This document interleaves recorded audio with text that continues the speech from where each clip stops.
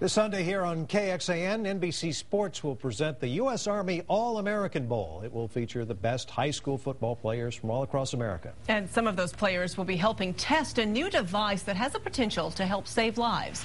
Chris Willis tells us about it all new at 5.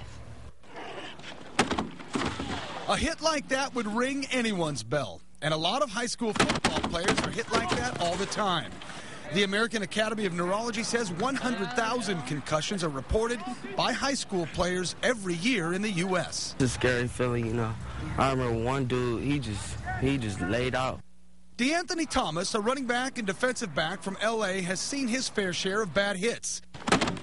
He's one of several players here testing the concussion indicator. It feels good. At first, I thought it was going to be uncomfortable because it's like bulky a little bit, but it's, it's great. Inside the chin strap, software that measures the force and duration of a hit. Outside the strap, a light indicator. Green means you're fine. A yellow blinking light means there's a 51% chance you have a concussion. A blue light means there's a 70% chance. And red means a 90% chance. At any point when that light changes, they need to pull the kid off the field, do a quick evaluation. If everything's fine, great. Chris Circo is CEO of Battle Sports Science, a company that created the device in Omaha, Nebraska. We're not detecting anything other than you've been hit at a certain G-force for a certain duration. Somebody needs to take a look at you. He and his business partner, Jeff Evans, say the indicator works like an extra set of eyes. You've got 150 kids going out for freshman football, right? And you've got all these different stations. You've got four or five five different coaches.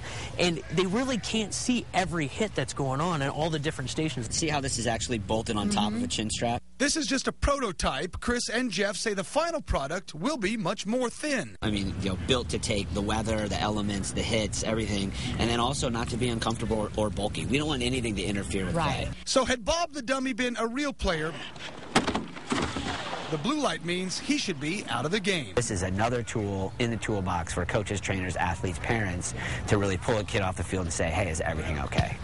In Austin, Chris Willis, KXAN, Austin News.